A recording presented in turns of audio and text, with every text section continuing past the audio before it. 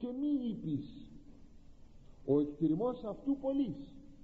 Το πλήθος των αμαρτιών μου εξυλάσσεται έλεος γάρ και οργή παρά αυτού και επί αμαρτωλούς καταπαύσει ο θυμός αυτού. Δηλαδή μη πεις το έλεος του Θεού είναι μεγάλο και συνεπώς έστω και αργοπορώ δεν πειράζει.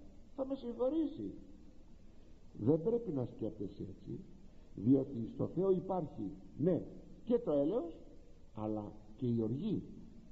Και στους αμαρτωλούς που σκέπτονται έτσι θα ξεσπάσει η οργή του.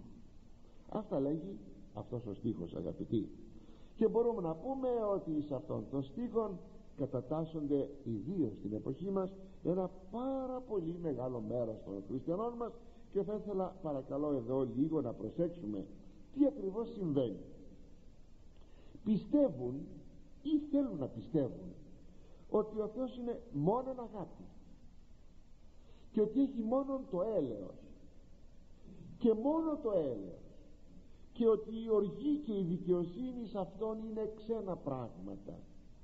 Δυστυχώς αυτή την θέση την καλλιεργούν και θεολογικοί κύκλοι.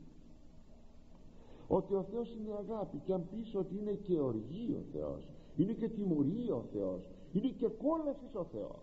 Θα σου πούν όχι όχι ποτέ.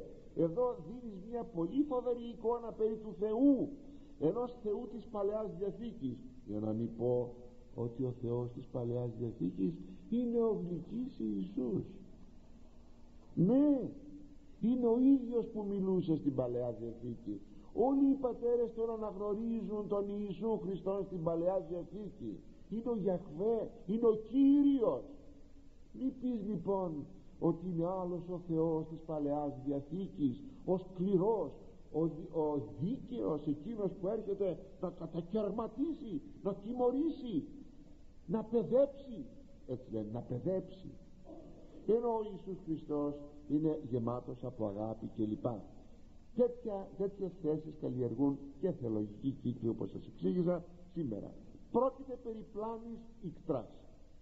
Έτσι σε αυτούς που πιστεύουν ότι ο Θεός είναι μόνον αγάπη είναι μόνον έλεος ότι οπωσδήποτε ο Θεός σαν αγαθός που είναι θα τους συγχωρήσει ό,τι και να έχουν κάνει όπου και όπως και αν έχουν φτάσει σε αυτούς αδυνατίζει η έννοια του Χριστού ως κριτού και ως τιμωρού όπως ακόμα και η πραγματικότητα της κολάσεως μέσα τους η κόλασης είναι κάτι που έχει ατονίσει έχει ξεφύσει δεν υπάρχει κόλασης. Καταρχάς πρόκειται περί μιας βλασφημίας κατά του Θεού διότι αφαιρείται από τον Θεό η ενέργεια της δικαιοσύνης. Αλλά μια τέτοια θέση ακόμα θα λέγαμε περνάει και στην αγωγή. Βλέπετε ότι πιστεύει ο μεγάλος το περνάει στην αγωγή της νέας γενεάς των παιδιών του πως γίνεται; Να πως γίνεται. Πάντοτε λέμε το παιδί μου θα του μιλάω με καλό τρόπο. Ουδέποτε θα το τιμωρήσω. Βλέπετε το δόγμα; Ο Θεός είναι αγάπη. Δεν είναι δικαιοσύνη. Δεν είναι τιμωρία. Λοιπόν αν έτσι τότε και εγώ το παιδί μου δεν θα το τιμωρήσω ποτέ. Πάντα θα μιλάω καλά πάντα θα το αγαπώ ως η αγάπη να είναι απειλωτριωμένη της δικαιοσύνης. Περίεργο πράγμα. Δηλαδή αν φανώ δίκαιος πάω να έχω αγάπη τότε λοιπόν η δικαιοσύνη χαρίζει η αγάπη χαρίζεται χαρίζεται με την έννοια εις βάρος της δικαιοσύνης. Αν είναι δυνατόν. Είδατε αυτό περνάει αγαπητοί μου μέσα με ολέθρια ομολογουμένους αποτελέσματα. Έτσι ο σύγχρονος χριστιανός έχει μία ψευδή εικόνα του Θεού και μάλιστα υποβόσκει εδώ λανθανόντος η εσφαλμένη θεωρία του Οριγένους περί αποκαταστάσεως των πάντων. Ότι κάποια στιγμή ο Θεός θα πει εάντε εγώ είμαι αγαθός. Σας συγχωρώ όλους και περάστε όλοι στη βασιλεία μου συγχωρώ και τον διάβολο. Και αυτός θα μπει στη βασιλεία μου. Κόλασης δεν υπάρχει. Ζήτω λοιπόν ο αγαθός Θεός ο οποίος θα τα συγχωρήσει όλα. Συγχωρεί όλα ο Θεός.